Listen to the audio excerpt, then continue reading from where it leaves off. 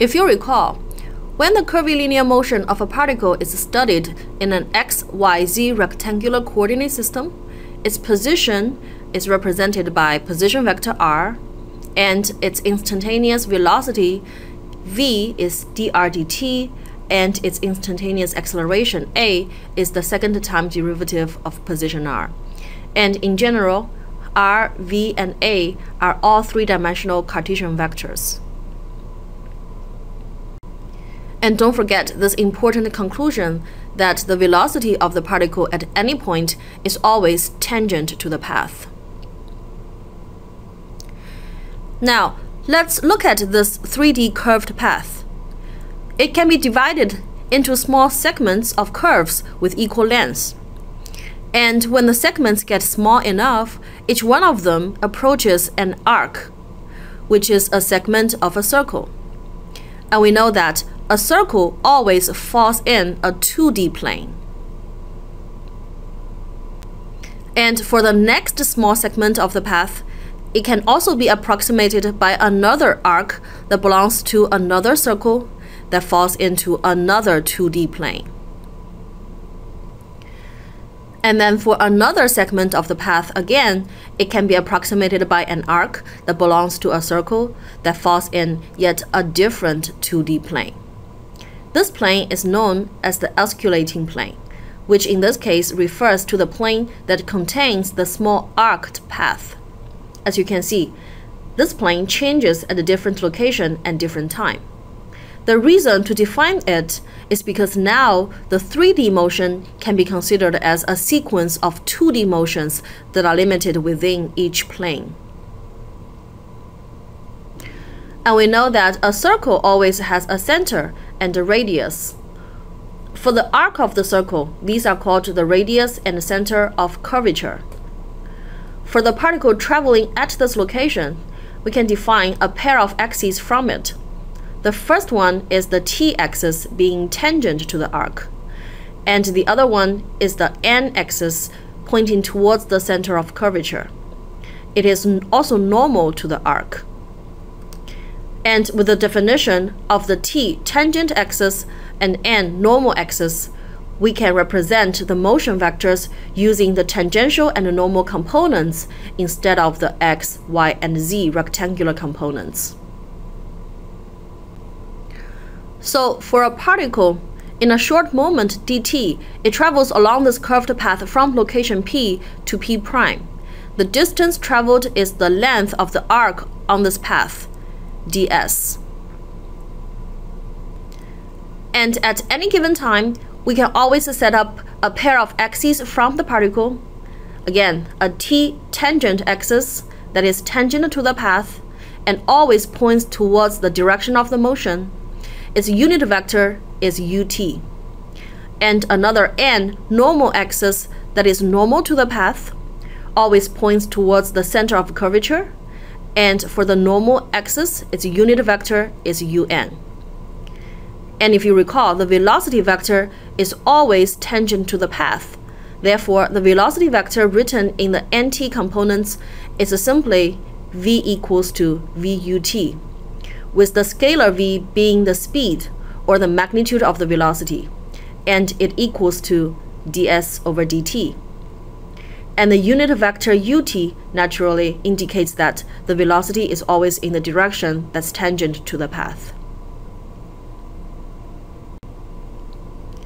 Here I'm skipping the mathematical derivation, but we can derive that acceleration will always have two components, a t, the tangent component, and an, the normal component. Therefore, the acceleration is written in normal and tangential components as a equals to atut plus ANUN. The tangential acceleration at simply equals to dv dt, and the normal acceleration an equals to v squared over rho, with rho being the radius of curvature at this location. And since AT and AN are perpendicular to each other, we can easily tell from the Pythagorean theorem that the magnitude of acceleration is the square root of AT squared plus AN squared. Here are some important notes when you use the normal and tangential components to describe curvilinear motion of a particle. First, unlike the rectangular coordinate system, which is generally fixed on Earth, the NT coordinate system is fixed on the particle instead. Therefore, it moves with the particle and is different from time to time. Second, one of the biggest advantage of using the NT components is that the velocity always only has one component along the tangential direction. Third, the two components of the acceleration have distinct meanings. AT only describes the change in the magnitude of the velocity or the change in speed, and AN only describes the change in the direction of the velocity. And because the tangential acceleration fully describes the change in the magnitude of the velocity, therefore, as an important conclusion, along the tangential direction, the three basic kinematic equations apply, just like rectilinear motion that we learned before. Therefore, similarly, these three equations for constant acceleration apply too, but again, only to tangential motion. The normal acceleration an is also known as the centripetal acceleration, since it always points towards the concave side of the path, seeking the center of curvature. And lastly, if the curved path can be modeled by a function y equals to fx, then the radius of curvature at any given point can be calculated by this formula. Let's look at this example. An object is traveling along this curved path, and the equation for the path is given. If at this point shown at x equals to 16 meters, that the speed of this object is 28.8 meter per second, and also this speed is increasing at 8 meter per second squared, we need to determine the direction of the velocity and also we need to determine its acceleration at this point, both magnitude and direction. Since we know that at any given point the object will have a velocity that is tangent to its path, we can set up the t axis which is tangent to the path pointing towards the direction of motion and uh, a n n normal axis that is perpendicular to the path and points towards the center of curvature. And the velocity simply points towards the same direction as the tangent axis and it has the magnitude of 28.8 meter per second. To determine the direction of the velocity is to determine the direction of the t-axis, which is characterized by this angle theta that it makes with the horizon. And because for the path, its equation is known y equals to 1 quarter times x to the 3 halves power. Therefore, its slope at any given time is dy dx, which equals to 3 eighths times x to the 1 half power. At x equals to 16 meter, we can evaluate the slope, which equals to 1.5, and this equals to tangent theta. Therefore, from here, we can solve for theta to be arctangent 1.5 which is 56.3 degree. And that's the direction for the velocity, which is also the direction for the tangent axis. The acceleration written in the normal tangential components is ATUT plus ANUN.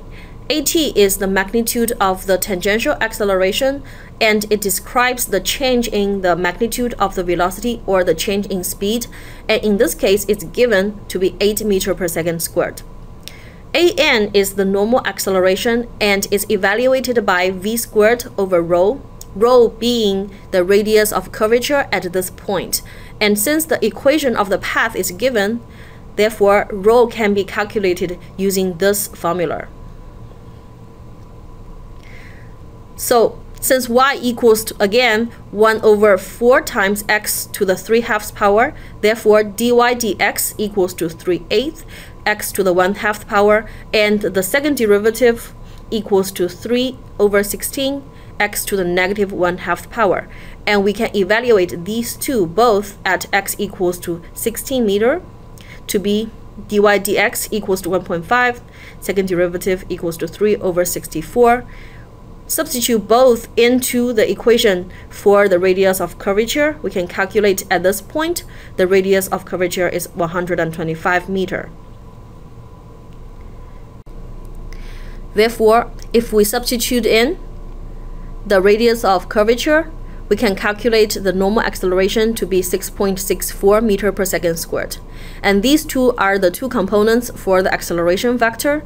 Therefore, the magnitude of the acceleration is at squared plus an squared square root, which is 10.4 meter per second. And it's represented here visually.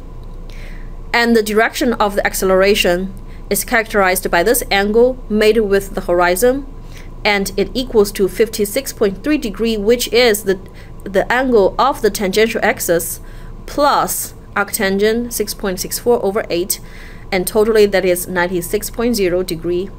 And these two are the answers we're looking for the magnitude and direction of acceleration